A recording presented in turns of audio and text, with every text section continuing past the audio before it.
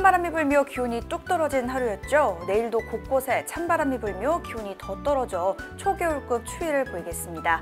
강한 바람과 건조해지는 날씨에 유의하셔야겠습니다. 그럼 자세한 내일 날씨 살펴보시죠. 내일은 대체로 맑겠지만 서해안과 동해안, 제주도는 가끔 구름 많겠습니다. 다만 오늘 늦은 오후부터 내일까지 울릉도와 독도에는 5에서 10mm가량의 비가 내리겠습니다. 한편 내일 아침 최저 기온은 0에서 10도, 낮 최고 기온은 13에서 19도로 내일과 모레 아침 기온은 오늘보다 5에서 10도가량 크게 낮아져 전국 대부분 지역에서 5도 내외로 떨어지겠는데요. 바람도 강하게 불어 체감 온도는 더욱 낮아 춥겠습니다. 또한 중부 내륙과 산지를 중심으로는 서리가 내리는 곳도 있겠고 경기 동부와 강원 내륙, 중부 산지 및 남부 높은 산지에는 밤사이 얼음이 어는 곳도 있겠습니다. 한편 전남 남해안과 제주도는 내일 아침까지 바람이 순간 풍속 초속 20m 내외로 매우 강하게 부는 곳이 있겠고요.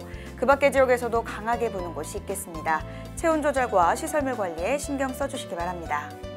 찬 공기가 유입되며 기온이 큰 폭으로 떨어져 이번 주 초반까지는 쌀쌀하겠습니다. 이후 목요일부터 차츰 다시 평년 기온을 회복하겠지만 쌀쌀하고 큰 일교 차이는 계속해서 유의하셔야겠습니다.